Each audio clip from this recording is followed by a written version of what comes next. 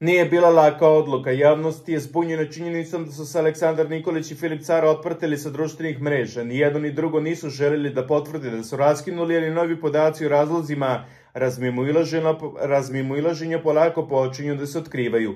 Čak ni oni koji su bili i najpesimističniji povodom njihove ljubavi ne mogu da veruju da nije pošlo ni nedelju dana od završetka zadruge i nešto manje od dve nedelje od njihove veredbe u najgledanim realitiju. Ipak mnogi ne veruju da je došlo do kraja njihove ljubavi. Poznato da je car vrlo impulsivan te da bi verovatno javno izvređio Alex kao što je delio uvrede svim svojim bivšim devojkama nakon raskida. Umeđu vremenu se pojavio novi izvor koji tvrdi da Alex i car nisu zaista raskinuli, nego da su se otprtili zbog saveta jednog specijaliste i ezoterično znanje brojeva. Naime, on tvrdi da je numerolog savjetao Alex da to uradi kako bi im sve procetalo u narednom periodu. Pošto Alex veruje u numerologiju i astrologiju, odmah je to uradila. Uspeo sam da saznam zašto se ne prate. Kaže Aleksandra da su zajedno, ali da su pitali numerologa za njih i numerolog im je rekao da se odmah otprati da bi imali 7 godina sreći, da ne bi izazivali sudbinu, stoji u saopštenju.